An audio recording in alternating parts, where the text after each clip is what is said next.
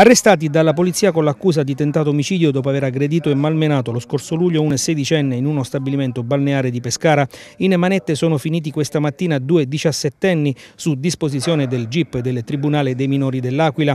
Denunciata per lesioni a piede libero a sua volta la vittima che per vendetta dopo qualche settimana malmenò uno dei suoi due aggressori. Dispiace eh, essere stati costretti ad adottare una misura estrema quale quella detentiva nei confronti di due ragazzi che a quell'età dovrebbero stare sui banchi di scuola o comunque in famiglia, però purtroppo è una misura che si è resa necessaria per interrompere un'escalation di violenza che poteva avere conseguenze ben peggiori.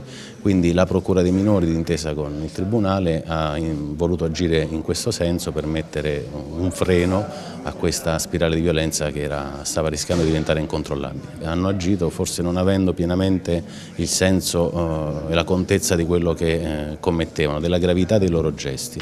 Il tutto è nato da una banalissima lite, poi questi contrasti si sono inaspriti, c'erano due gruppi contrapposti che ne avevano fatto anche una questione territoriale perché provenienti da due zone diverse della città, il risultato però alla fine è che eh, c'è un ragazzo che è stato ferito seriamente, è stato colpito più volte al capo con una spranga e quindi ha rischiato anche la vita. Indagini che sono concluse?